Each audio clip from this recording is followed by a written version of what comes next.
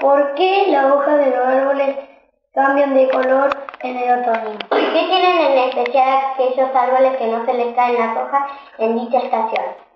¿Por qué no todos los árboles tienen sus hojas verdes? Utilizando diferentes hojas, extrajimos la clorofila de ellas.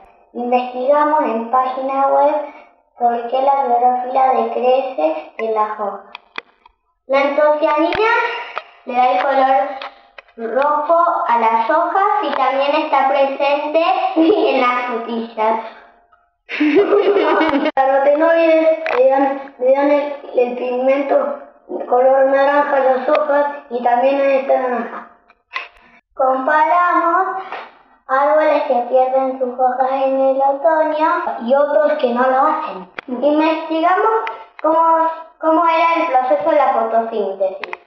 Los caducos los árboles que se les caen las hojas y los perennes son los árboles que no se les caen las hojas. Nos gustó mucho hacer este proyecto, investigar, Ser pequeños científicos y aprender cuánto aporta la clorofila.